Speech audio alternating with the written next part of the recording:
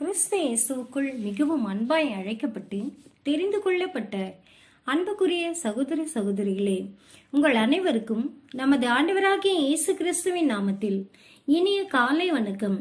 வேதாகம பாடங்கள் தொகுதி ஒன்று யுகங்களை பற்றிய தெய்வீக திட்டம்.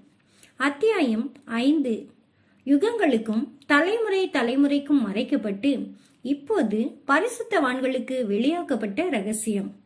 கொலைசேர் ஒன்றாவது அதிகாரம் இருபத்தி ஐந்தாவது வசனம்.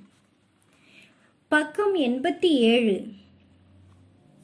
மெய்யாகவே தேவனுடைய வாக்குதத்தங்களானது ரகசியங்களாக மறைக்கப்பட்டு அவருடைய வழிகள் மனிதன் கண்டுபிடிப்பதற்கு கூடாத தயம் இருந்தது. இருந்தபோதிலும் ஏற்ற காலத்திலே தேவன் மாபெரும் இரட்சகராக மோசையை எழுப்பி அவருடைய கையினால் வல்லமையுள்ள அற்புதங்களை எகிப்திலே நடப்பித்து அவர்களை அடிமைத்தனத்திலிருந்து விடுதலையாக்கினார்.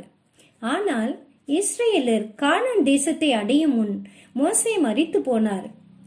ஆனால் தேவனுடைய வார்த்தையாக அவர் மறிப்பதற்கு முன் அவர் என்னை போல ஒரு தீர்க்கதரிசியை உனக்காக உன் நடுவே உன் சகோதரரிலிருந்து தேவன் எழும்ப பண்ணுவார்.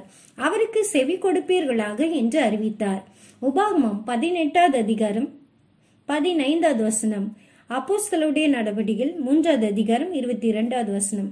அவர் அனுப்ப போகும் அந்த இரட்சகர் மூலம் முழுவதுமாக அவர்கள் ஒரு தேசமாக எதிர்காலத்தில் இவ்வுலகை ஆளுகை செய்து ஆசீர்வதிப்பது மாத்திரமல்ல அவர்கள் மத்தியிலிருந்து தேர்ந்தெடுக்கப்படும் அவர் வெற்றி வீரராக அந்த வாக்குதத்தத்தை நிறைவேற்றுவார் என்ற தேவ திட்டத்தை பற்றிய இன்னும் அதிகமான பார்வையை அவர்களுக்கு அளித்தது. பின்பு இரட்சகர் அல்லது மீட்பர் என அர்த்தம் கொள்ளும் யோசுவா இஸ்ரேலருடைய தலைவராகி அவர் தலைமையில் அவர்கள் மாபெரும் வெற்றிகளை அடைந்து அதன் பின்பே வாக்குதத்தம் பண்ணப்பட்ட தேசத்தை அவர்கள் அடைந்தார்கள். அப்போதும் உண்மையான தலைவர் அல்லது வாக்குதத்தம் பண்ணப்பட்டவர் வந்து அந்த வாக்குதத்தம் முழுமையாக நிறைவேறப் போவது போல தோன்றியது. ஆனால் யோசுவாவும் மறித்தார் அதன் பின்பு தாவிது மற்றும் சாலமோன் அவர்களுக்கு ராஜாக்களாக தரப்படும் வரையிலும் அவர்கள் ஒரு ஜாதியாராக முன்னேற்றம் அடைந்ததில்லை அவர்கள் காலத்தில் இஸ்ரேலர் மேன்மையின் உச்சத்தை அடைந்த போதிலும் நிறைவேற்றப்படவிருக்கும் வாக்குதத்தத்தை காண முடியாதவர்களாக அவர்களுடைய மகிமையிலிருந்து வெகு சீக்கிரத்தில் தள்ளப்பட்டதுடன் மற்ற தேசங்களுக்கு கப்பம் கட்டுபவர்களாக மாறினர்.